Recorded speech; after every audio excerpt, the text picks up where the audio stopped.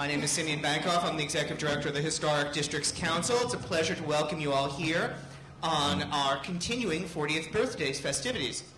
Um, well, you're all here because you know what HDC does. And you're here to find out where we actually came from. But it is my extreme pleasure to introduce uh, Tony Wood, a man who needs little introduction, yet I'm doing it anyway.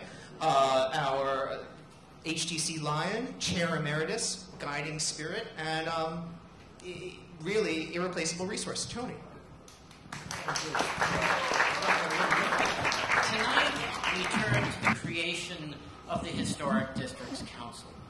With its birth a mere 40 years ago, we are in the rare position of having with us tonight those present at its conception.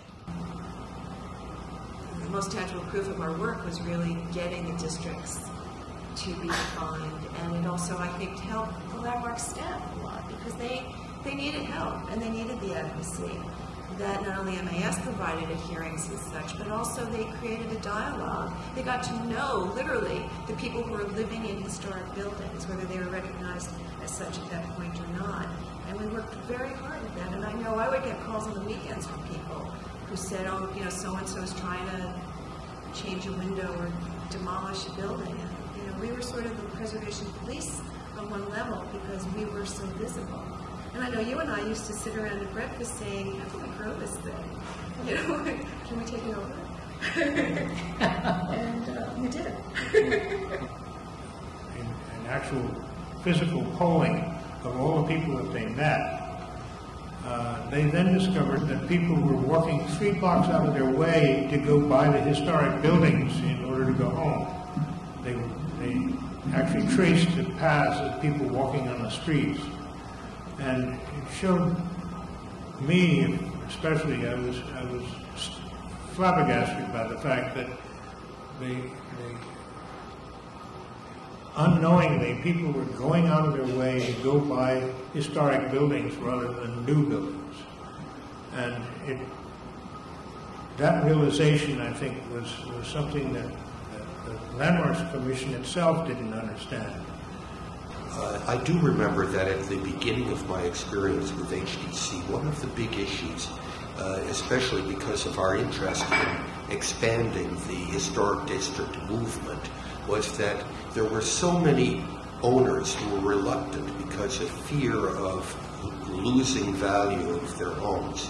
And uh, this was a, a huge impediment to getting districts designated because, of course, the Landmarks Commission uh, wanted to make sure that at least a majority of the residents and landowners in the area uh, backed the formation of the district. In fact, it may be that they wanted it substantially uh, uh, uh, uniform. I'm not sure.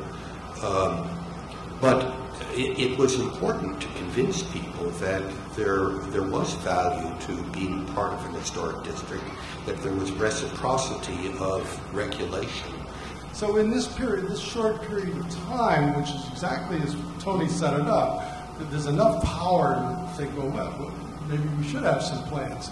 The, the public was behind it, but the instruments weren't there. So these instruments were invented more or less simultaneously.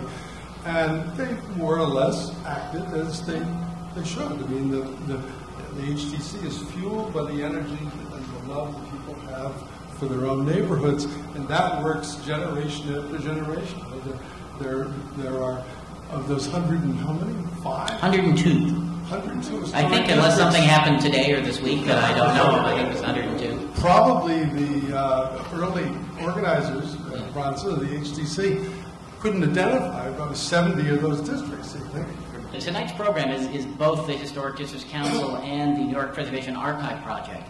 Uh, and part of what the Archive Project does is try to capture the type of history we've begun to hear tonight. Uh, and these are not the only wisdom bearers of that history. Uh, and so we've been doing oral histories with other people. There are other people in this room who have incredible stories to tell. Some of them we've captured on tape, some we've encouraged other groups to capture, because this isn't just for the record. I think this really helps us better understand where we are today, how we got here, but it also is, is instructive in terms of where we may need to be going. you know, preservation probably needs to continue to think about how do we reinvent how we do preservation as advocates? How do we look at the present arrangement of organizations as they've evolved and we look to the needs of the future? And I think we're much better positioned to do that when we have a good sense of how we got to where we are and how the HDC was born and turned 40. And boy, it looks doesn't look too old. But anyway, I want to thank everybody on the panel. You guys were morning just for